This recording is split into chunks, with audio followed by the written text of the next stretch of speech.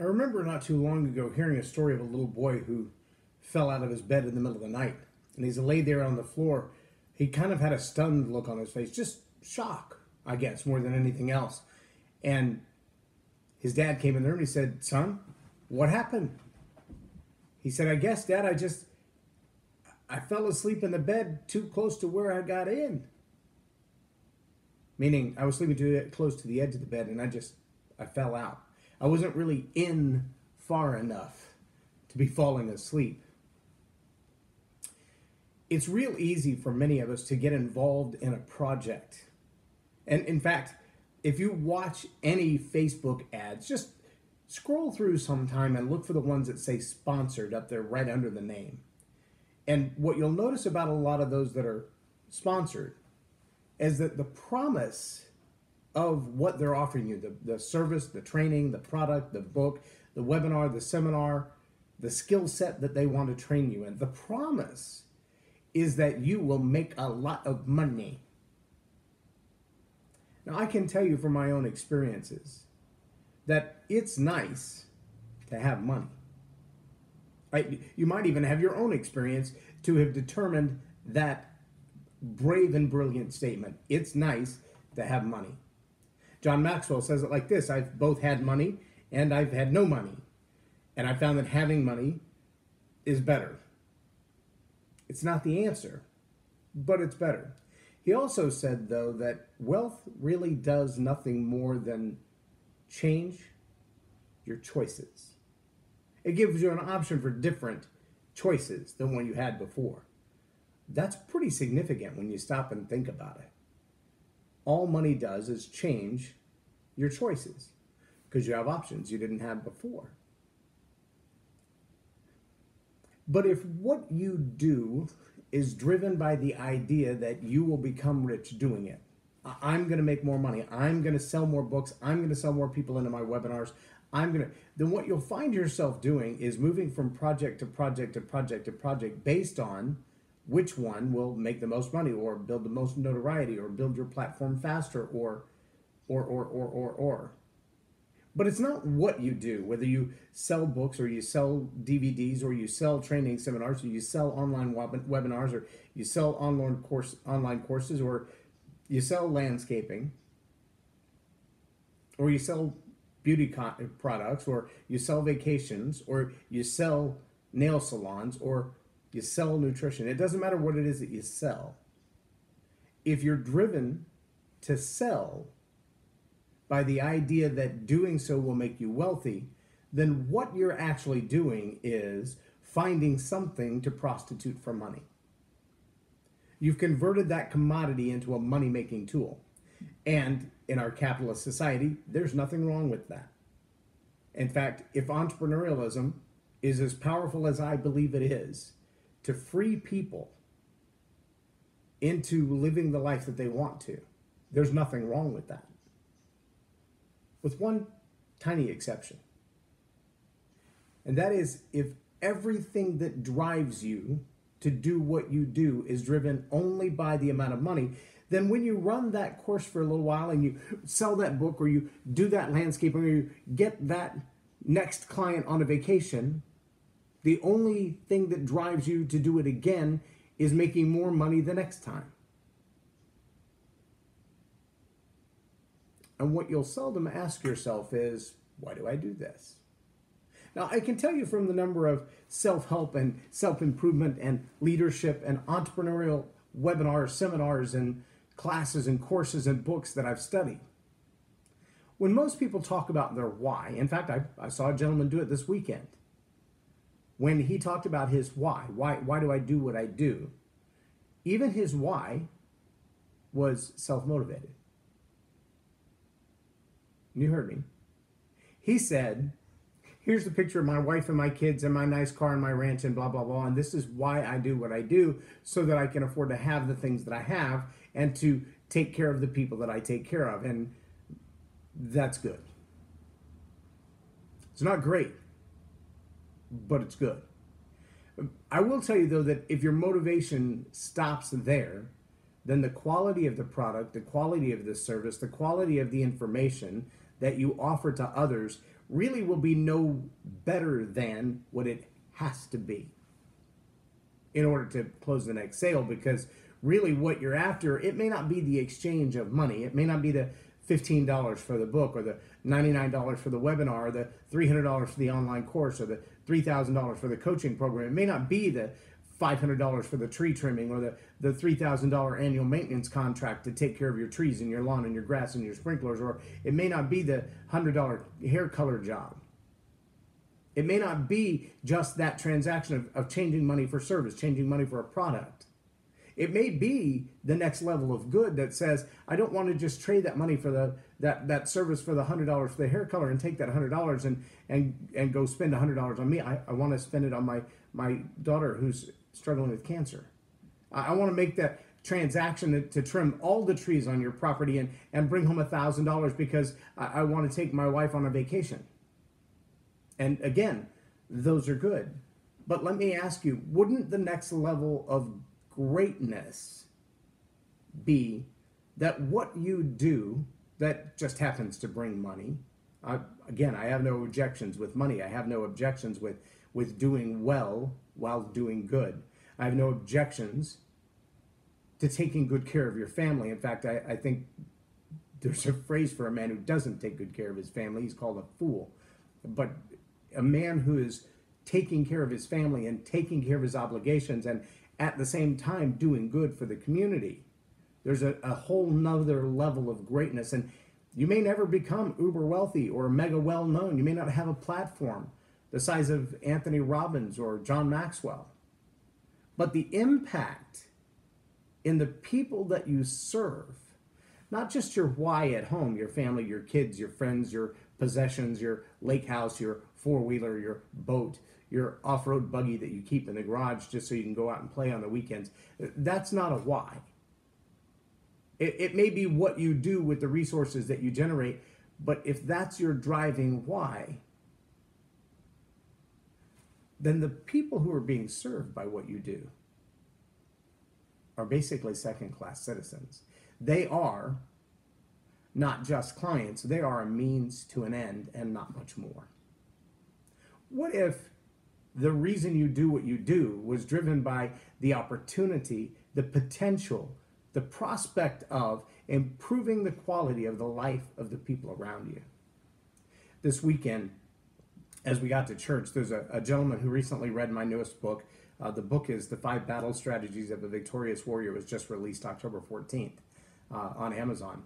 And he had he read an advance copy, and I just asked him, "What do you think of it?" And he sent me back a text message in wee hours in the morning, and he said, "I couldn't put it down. I, I read it from cover to cover in a matter of like six hours." And I was like, "Wow, I I thought it was a longer read than that." He said, "Oh, I'll, I'll read it again." In fact, I want to go through the entire workbook process and answer every question and really let it soak into me. But he said, I'm telling you, this book is like, it's like nothing I've ever seen. It is a new cutting edge in Christian spiritual warfare. And this guy's probably in his mid late 70s, retired fighter pilot. He's a great guy. Also, a very well read guy. Still reads probably more books than I do. So he had purchased, I think he's up to over a dozen copies, but every time he buys them and I deliver the stack to him, before we finish our gathering together, he's given most of those away. Well, a young lady had wandered into the bookstore and he was talking to her. And he was talking to her at the table behind us, and he just mentioned to me, Hey, if you have some more books in your truck, I need to buy another stack. And so I went out to the truck and I brought them back in for him. And I gave them to him. And I had also given him a copy of Karen's book, my wife, The Five Battle Positions of a Happy Wife. And my book is about how to overcome addiction. And it's a book on spiritual warfare and, and mental processing to overcome addiction. My addiction was pornography. Well, my wife was the victim, if you will, of having to walk through the first 10 years of our marriage while I was addicted. And so her book is the positional journal, The Five Battle Positions that, that God walked her through to give her strength to stay for our marriage when her husband wasn't worth fighting for. And so I had just I included a copy of that on the stack of books. I gave him to him. I went back to my coffee, and we're just sitting there chatting. And when I got up to refill my coffee cup, he looked at me and he said, "Is there any chance that your wife would come over and say hi to this young lady?" And he just very briefly told me her story. And so when I got back to the table, I mentioned it to Karen, and she got up, went over, and they were having a nice conversation. And when he left, he left her the one copy of Karen's book.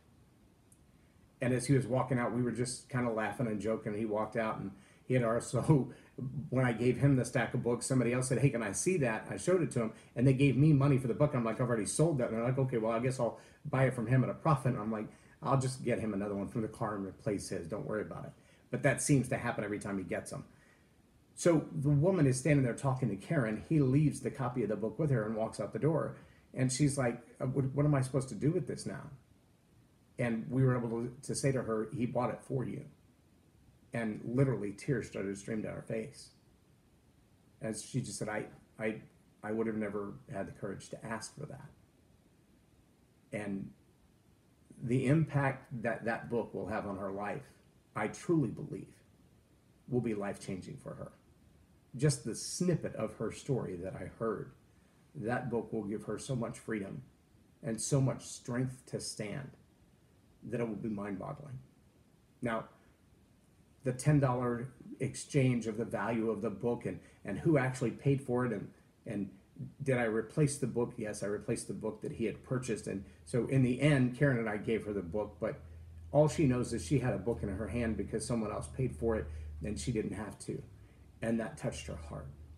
I think the content of the book will touch her heart even more. Why do we do what we do?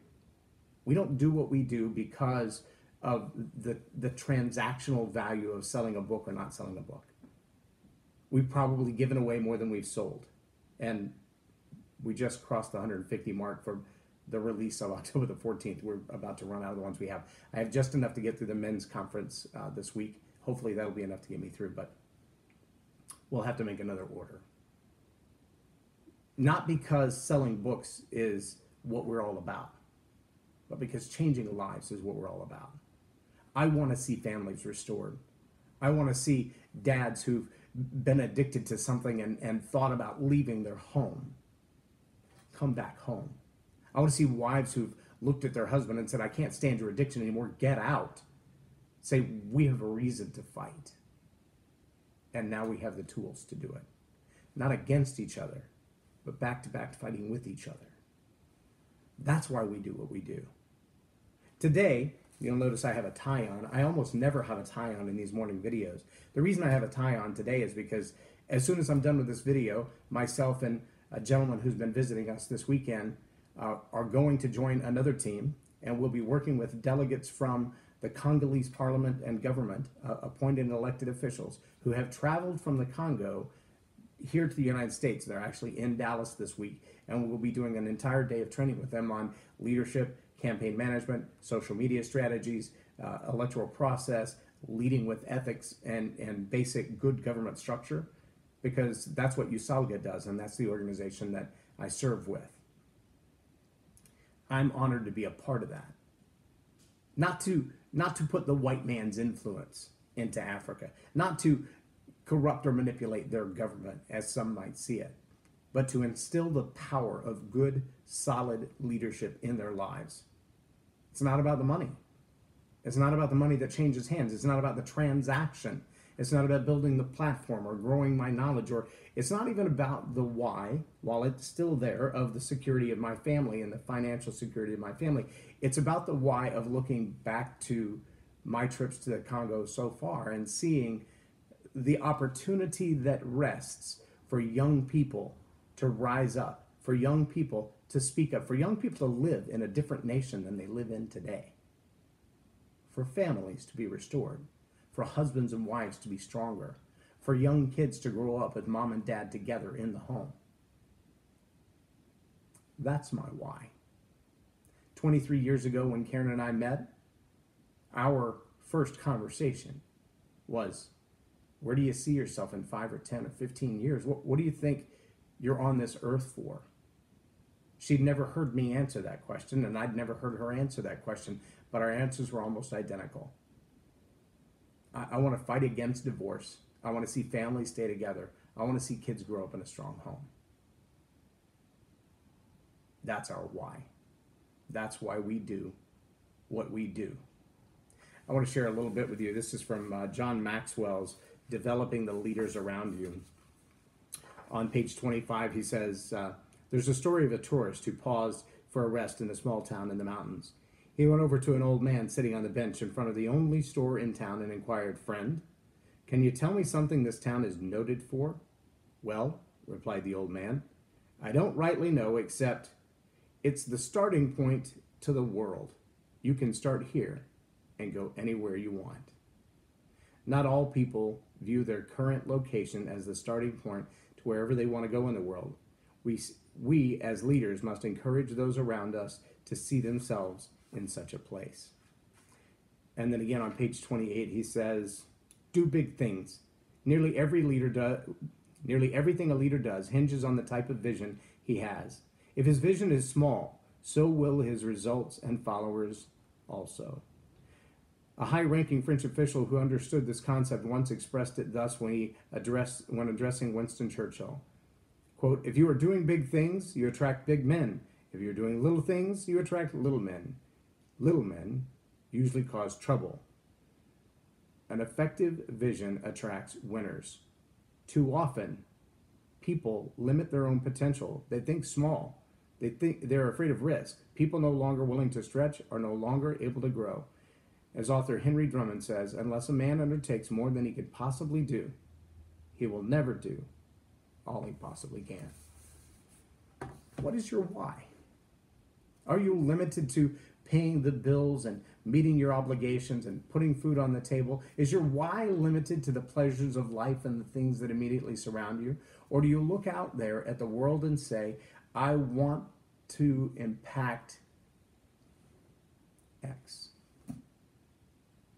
You were not made to survive.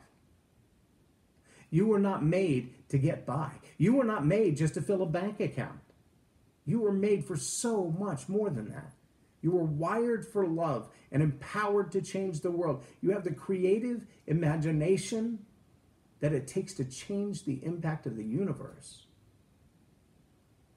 Why do you do what you do? That's my question for you today. I hope you'll take time to ponder it and answer it. Honestly, is it all about you? Or is it about the impact you could have outside of you? I'm J. Loren Norris, and you've been watching Tell It Like It Is TV. Have a blessed day.